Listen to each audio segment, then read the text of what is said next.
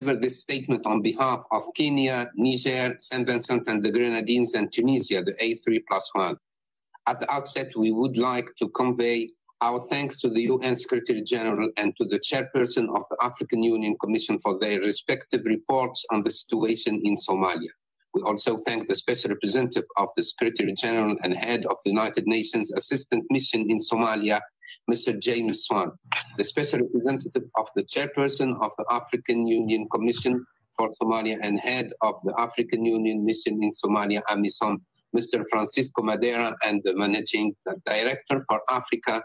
at the European External Action Service, Ms. Rita Laranjinha, for their briefings.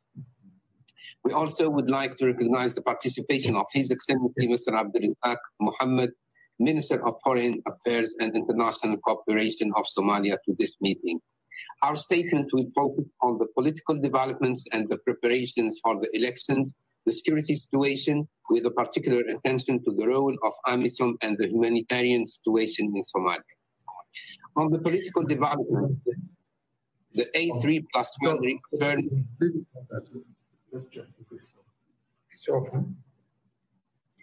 on the political developments, the A3 plus one reaffirms its full support to a safe, peaceful, and orderly transition in Somalia based on constitutional order, the rule of law, and human rights, and unwavering commitment to the sovereignty, unity, and territorial integrity of Somalia.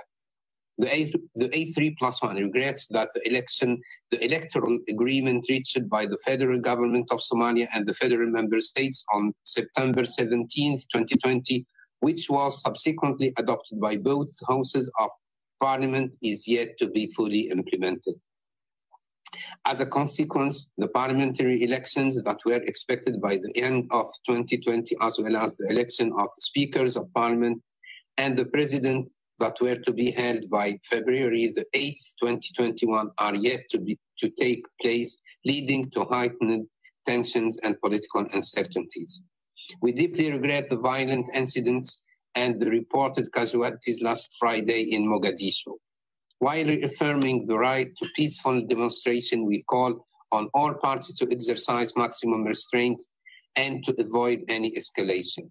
We encourage the federal government of Somalia and the federal member states to continue with their ongoing dialogue, guided by the spirit of consensus and readiness for compromise with the view to reach an agreement on the remaining outstanding issues. In this regard, we welcome the formation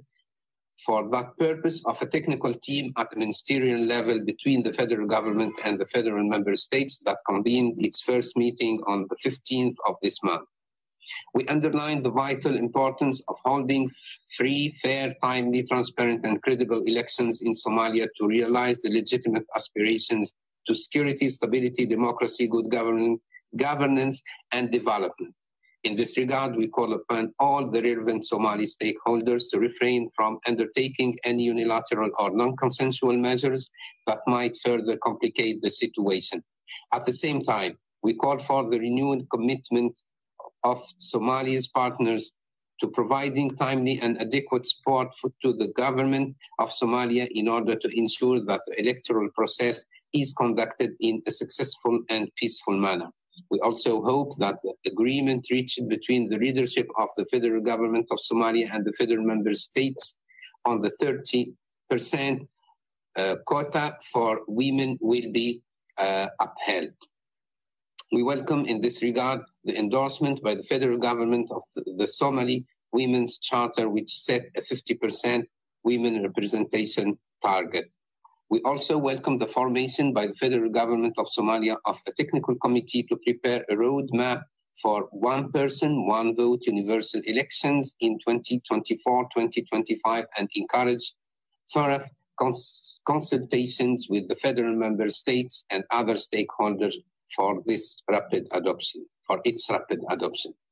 On the security situation, the A3 plus one remains deeply concerned about the volatile security situation in Somalia. We strongly condemn of the, late, uh, of the latest terrorist attacks perpetrated by, the, uh, by Al-Shabaab and express our sincere condolences to the families of the victims and to the Somali people and government. We also profoundly regret the loss of civilian lives and pay tribute to the ultimate sacrifice made by AMISOM and Somali security forces personnel in the fight against terrorism.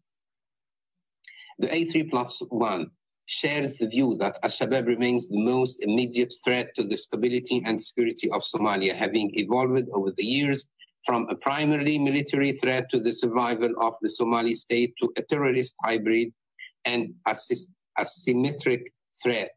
We also agree that despite the progress achieved so far, Somalia still needs international support to fight against Al-Shabaab and to help build state capacity until it is able to take full responsibility of its own security. In particular, given the hybrid terrorist threat posed by Al-Shabaab, increased resources should be devoted to developing and enhancing capabilities such as counter-IED, counter-terrorism intelligence, and counter-terrorism operations. The A3 plus one further believes that Al-Shabaab cannot be defeated solely by military means. More efforts should be made to diminish Al-Shabaab's access to finance, tackle its ability to recruit and radicalize, and counter its extremist propaganda the promotion of the rule of law, justice, and human rights, state building, governance, economic developments, institutional capacity building, and the extension of state authority through inclusive politics and reconciliation are also necessary for the eventual permanent defeat of Al-Shabaab.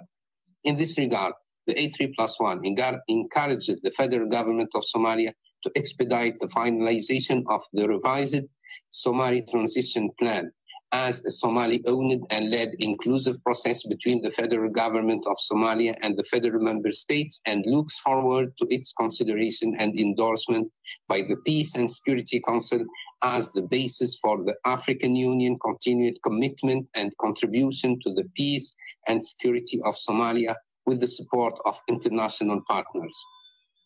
Madam President, while renewing our appreciation for the sustained contributions of the United Nations and of the international partners to bringing peace, security, and stability in Somalia, we would like to focus more specifically as the A3 plus one on the role of AMISOM and Somali security forces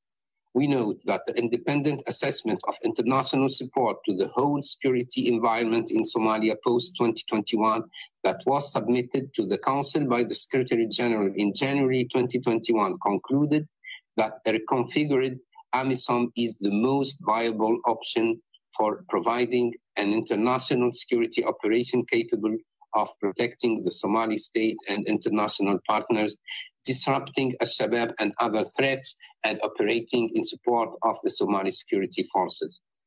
Confirming that the A3 plus one and the African Union have been stating for a long time now, the independent assessment underscored that AMISOM is underfunded compared to similar sized UN stabilization operations and that the continued continuation of the UN support package via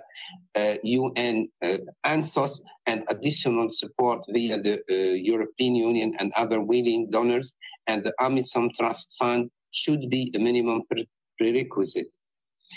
It added that the optimal solution would be UN assessed contribution funding for a reconfigured AMISOM. The report also pointed to a stance of unfairness due to the fact that the African troops deployed to AMISOM receive only 70% of the stipends of those deployed in UN peacekeeping operations where they face considerably less risk. It concluded that the current situation undermines the moral and effectiveness of the mission. Madam President, the African Union Peace and Security Council, in its communique of February 9, 2021, welcomed the envisaged configuration of AMISOM in collaboration with the Somali security forces. It urged the federal government of Somalia and the federal member states to expedite the force generation processes to enhance Somali security forces capabilities to the required levels that will enable AMISOM's reconfiguration to be completed to adequately support the key priorities of the Somali transition plan. At the same time, the Peace and Security Council appealed to the international community and in particular the UN Security Council to avail the space necessary for the federal government of Somalia in close collaboration with the African Union to lead the discussions concerning the international engagement with Somalia post-2021, in line with the Somali transition plan. The A3 plus one believes that the Security Council should heed this appeal